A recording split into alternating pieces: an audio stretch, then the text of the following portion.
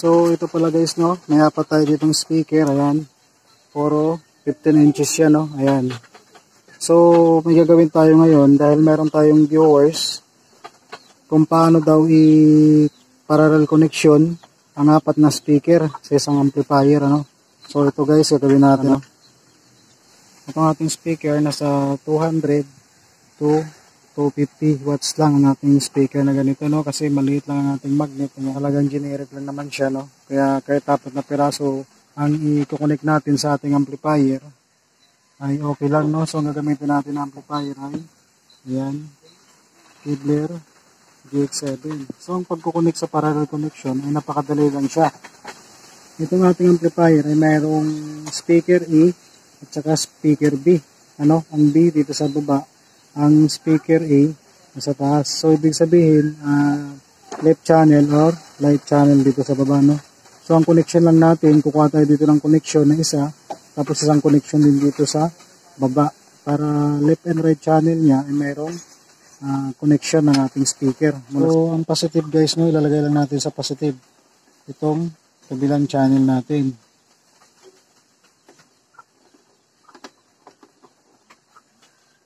Tapos, yung negative, itong itim, ay dito lang din sa kabila. Isang pares lang na speaker terminal lang ang ating kukunin. So, itong connection guys na sa ating, ating amplifier. So, ang susunod natin na gagawin ay dito sa ating speaker. Yung kulay pula natin na wire no, galing dun sa ating ampli, dito lang natin siya ilagay sa kanyang positive no? Ayan yung may plus medyo malabo yung ating camera. Ayan. Ito yung ating positive. So itong negative natin dito lang siya natin ilagay sa kanyang negative. Yung may sign na minus ano? Ayan. Tapos yung pinakadulo din ito idugtong din to natin sa isang speaker natin ano? Ayan. Dito naman tayo mag-connect. Kasi dalawang speaker sa isang channel ang nilagay natin. Ganun din dito sa isa nating speaker. Yung sign na positive, yung plus, yun po yung kulay pula. Itong negative, yung minus, yung may kulay blue, no, na wire lang ginawa natin dito. So, ang nandito, na connection na ginawa natin, yung kulay pula, yung positive. So, ikakabit natin din sa isa nating speaker. No, ito ang ating positive. Yan.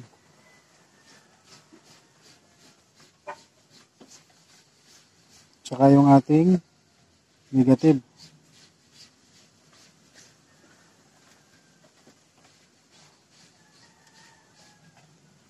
So, ayan siya guys, no? Ang ginawa natin, connection. Ang positive, positive.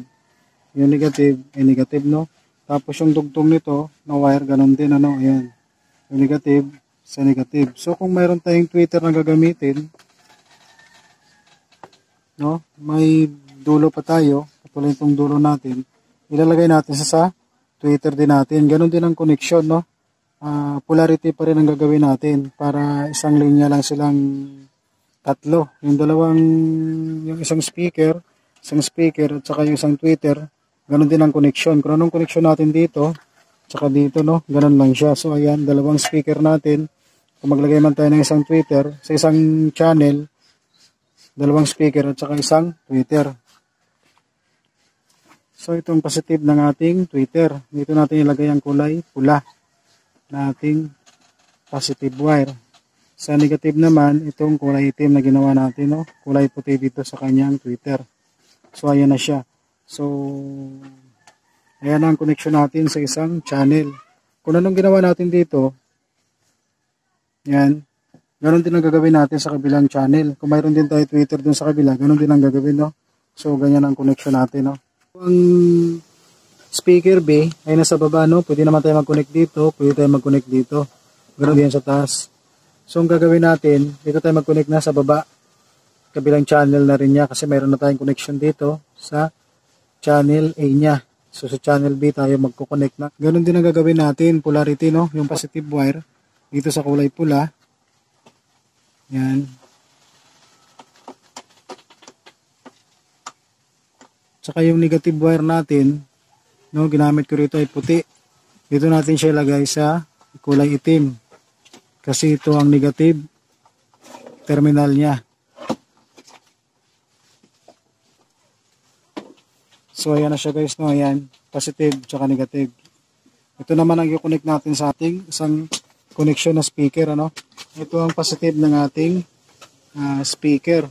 So kung ano ang positive wire natin na nanggagaling sa ating ampli, dito natin siya i-connect no sa ating positive wire. So ito. Ganon din dito sa kabila, yung negative wire sa negative din ng ating speaker terminal. So ayan, nakakonect na. Tapos ganun din dito sa isa pang speaker. Ganun lang din ang gagawin natin, no? positive to positive. Ito ang positive, nasa kanan, no? yung may sign na plus. Yun yung positive. Yung may minus, yun yung negative. So ayan na siya. So dahil isa lang available natin na Twitter, wala na tayong ilalagay na Twitter dito. So kung mayroon kayong ilalagay pa na Twitter dito, ganun din ang connection, yung katulad na connection na ginawa natin. Ayan. Yan ang Twitter natin. Uh, driver unit lang yan. So yan ang gagawin natin. No? Ayan ang connection natin. Ayan. Bali apat yan. Dalawa sa left channel, dalawa din sa right channel.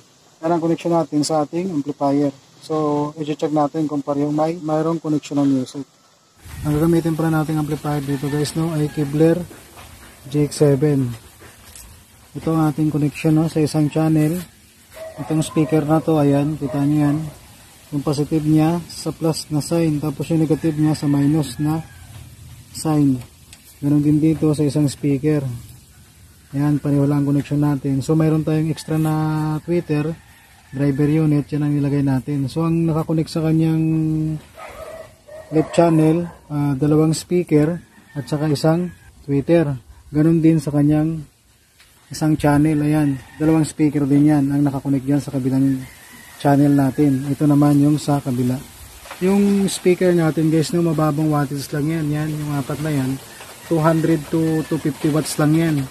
Kaya kahit mag-parallel connection tayo dyan, mababa lang kayang kaya dalhin ng ating amplifier na Kevlar GX7 kasi sa Kevlar GX7 ay 800 watts per channel no so kayang kaya siya uh, lagi natin tatandaan dapat mas ma taas lagi ang ating amplifier sa ating uh, mga speaker so kung halimbawa guys no naka soundbox ang bawat speaker natin magkukunik lang tayo niyan sa ating speaker terminal. Speaker kasi natin na yan, walang box no, kaya ginawa lang natin na ganyan para may guide lang ang ating viewers kung paano daw gawing parallel connection.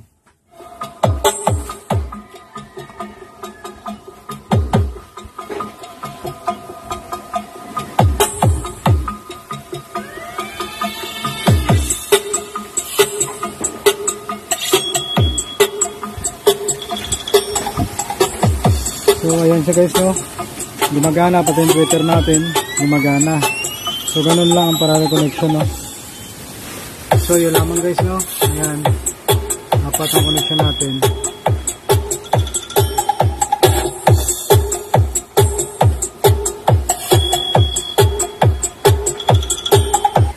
So yun lamang guys no. Thank you for watching.